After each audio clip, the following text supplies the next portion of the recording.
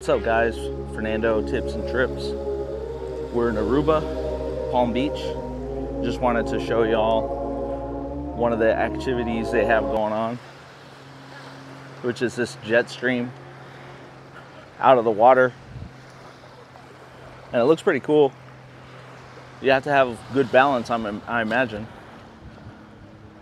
I gotta put my feet in the water here.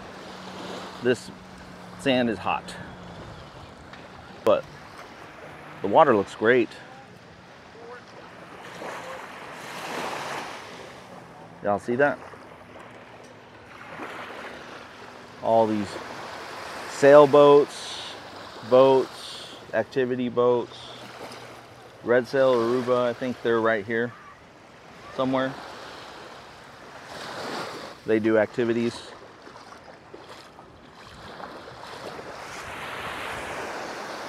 My feet are so red. It's been a hot one today. I love to hear the ocean waves going back and forth. Hopefully these people go ahead and uh, get on the activity train again and we can take a look. Man, this water is lovely. I wish I could get in, but we're getting ready to go to our next hotel, the Caribbean Palm Village. We've stayed at Barcelo Aruba from Wednesday, March 10th, 2024. And today is Saturday, March. I'm sorry. Let me start over. So we've stayed at Barcelo Aruba from April 10th 2024 and we're leaving today April 13th 2024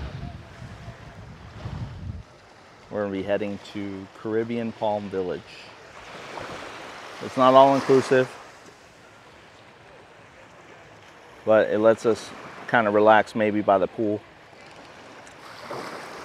this evening.